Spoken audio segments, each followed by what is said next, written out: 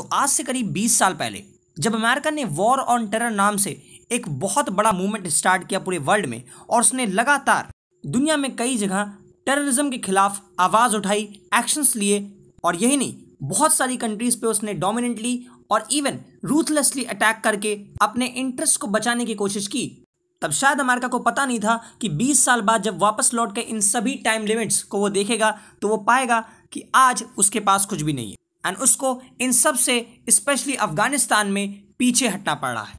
Hello everyone and welcome to socializer और socialiser के इस बहुत ही ज़्यादा इंटरेस्टिंग वीडियो में आज हम आपको बताएँगे कि कैसे तालिबान वापस से अफ़गानिस्तान में अपने पैर पसार रहा है।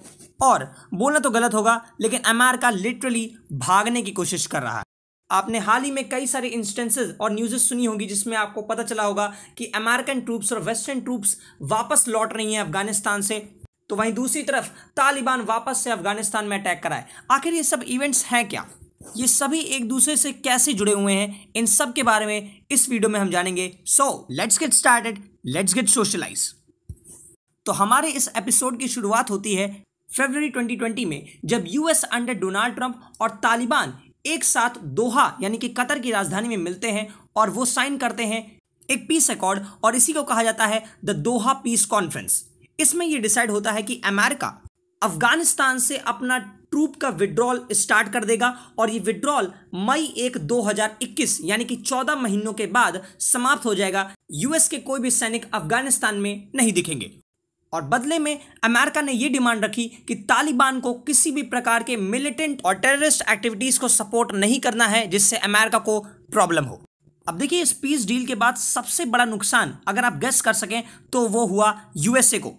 जी हाँ। अब सोच के देखिए, अब तालिबान तो चाहता ही था कि वेस्टर्न ट्रूप्स जो हैं वो अफ़गानिस्तान से चला जाए, जिससे तालिबान, जिसके लिए वेस्टर्न सैनिक सबसे बड़ी हड्डी थी अफ़गानिस्तान को हथियाने की, वो अब हट जाएगी उसके सामने से। और अब किसी भी प्रकार का मेजर रेजिस्टेंस उसको सामने नहीं मिलेगा। तो क्वेश्चन आता है कि यूएसए ने ऐसी डील को साइन किया ही क्यों? अगर उसको लॉस ही हो रहा था तो वो क्यों यहाँ से निकलने की बात कराए? तो आंसर इसका यह है कि यूएसए लास्ट 20 सालों से अफ़गानिस्तान में फंसा हुआ था। लगातार बहुत बड़े अमाउंट में यूएसए अपना पैसा खर्च करा था अफ़गानिस्तान में वॉर के लिए, अपने सोल्जर्स को मेंटेन करने के लिए, उनके रहने खाने का इंतज़ाम करने के लिए एंड ऑल दैट जितने भी एक्सपेंडिचर आते हैं। और इसकी वजह से यूएसए एक तरफ़ इकोनॉमिक उसको स्ट्रेस यहाँ झेलना पड़ ही रहा था, वहीं दूसरी तरफ़ वहाँ की जो लोकल फैमिलीज़ यानी कि जो अमेरिकन सोल्जर्स की फैमिलीज़ थी, वो भी ये डिमांड करी थी कि हमें और कैजुअलिटीज नहीं चाहिए। सोल्जर्स को वापस बुलाने का समय अब आ चुका है।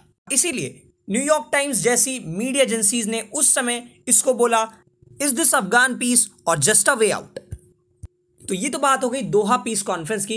अब हम बढ़ते हैं आगे। देखिए, अमेरिका ने अब यह पूरा मन बना लिया था कि वो धीमे धीमे ट्रूप्स का विड्रॉल करना शुरू कर देगा। लेकिन प्रॉब्लम ये थी कि ट्रूप्स का विड्रॉल चौदह महीनों में करना। भले ये टाइम बहुत बड़ा है, लेकिन करना इतना आसान नहीं है, क्योंकि अमेरिका बहुत सालों से वहाँ पर रह रहा था।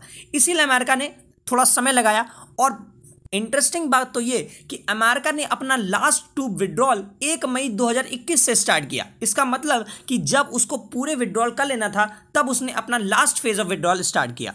एंड तालिबान इसी पर, जो इतने दिनों से अटैक कर ही रहा था, उसको ये कुछ चांस ढूंढ रहा था कि किसी तरह उसको एक तरीका मिल जाए इस पीस डील से हटकर कुछ एक्स्ट्रा करने का, और उसको यहाँ पर चांस मिल गया। उसने ये एलिगेशंस उठाए कि यूएसए हटना नहीं चाहता। एक मई जब उसने डिसाइड किया था हटने का, तब भी वो हट नहीं रहा है।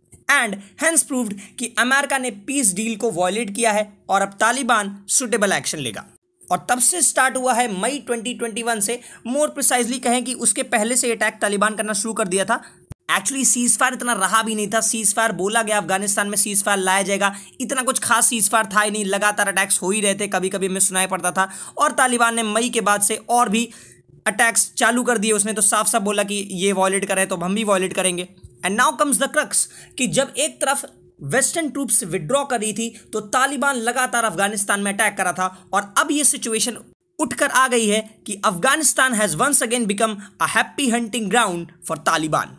तो अब चलते हैं करंट की सिचुएशन में, इस समय क्या हो रहा है? देखिए, इस समय तालिबान ने लगातार ऑफेंसिव स्ट्राइक्स स्टार्ट कर दी है। एक तरफ़ वेस्टर्न ट्रूप्स हट रहे हैं तो एक तरफ़ तालिबान ने लगातार इनके जो रूरल प्रोविंसेस हैं अफ़गानिस्तान के, वहाँ पर अटैक कर रहे हैं। और लिटरली उन्होंने कई सारी डिस्ट्रिक्ट्स को अफ़गानिस्तान में हथिया लिया है। मोर प्रिसाइजली कहा जाए तो करीब 400 डिस्ट्रिक्ट्स में से 157 डिस्ट्रिक्ट्स को तालिबान ने हथिया लिया है। अब सोचिए ऑलमोस्ट 40 परसेंट अफ़गानिस्तान तालिबान के हक में आ चुका है।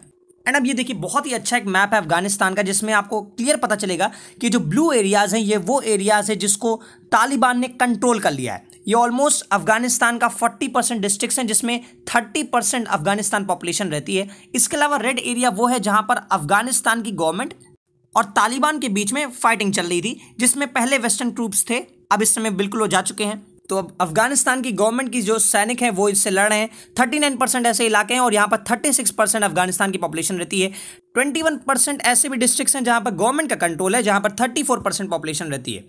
लेकिन मेन बात है कि सोचिए ऑलमोस्ट 80 परसेंट ऐसे इलाके हैं जहाँ पर लगातार फाइटिंग या टेंशन देखने को मिल रहे हैं। लोग सही से रह नहीं पा रहे हैं। कितनी बुरी कंडीशन है अफ़गानिस्तान में। और यही नहीं, अफ़गानिस्तान में तालिबान ने ऑलमोस्ट अपना स्टेट स्थापित करना शुरू भी कर दिया है। उन्होंने रूल्स भी अब वो फ्रेम करने लगे हैं। जैसे कि यहाँ पर ये रिपोर्ट है द हिंदुस्तान टाइम्स की women can't leave home alone men have to grow beard ये तालिबान ने उन इलाकों के लिए कहा है जहाँ पर उन्होंने अपना कंट्रोल बना लिया है, जहाँ पर गवर्नमेंट ऑफ़ अफ़गानिस्तान हट चुकी है पूरी तरह से।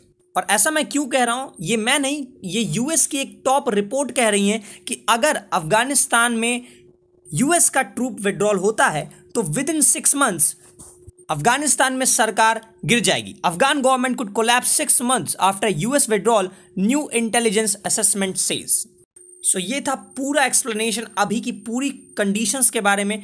क्या अफ़गानिस्तान में चल रहा है? क्या थी वो पीस डील किस प्रकार के अभी इवेंट्स देखने को मिल रहे हैं? एंड सच में बहुत ख़राब लगता है यहाँ पर। वहाँ पर लोकल सिविलियंस जो हैं, उन्होंने बंदूकें उठा ली हैं तालिबान के खिलाफ, जैसे जैसे फॉरेन ट्रूप हट रही है। आर्टिकल है द गार्डियन का। अब आने वाले समय में हमारे पास दो क्वेश्चन रहेंगे। क्या यूएस पूरी तरह से वापस चला जाएगा? अफ़गानिस्तान के कॉमन पीपल को वो तालिबान के हाथों सौंप कर निकल जाएगा। और दूसरा क्वेश्चन ये है कि अफ़गानिस्तान का फ्यूचर क्या होने वाला है? इतना वॉयलेंस और इतने ब्लड के बाद वहाँ के लोगों के साथ होगा क्या?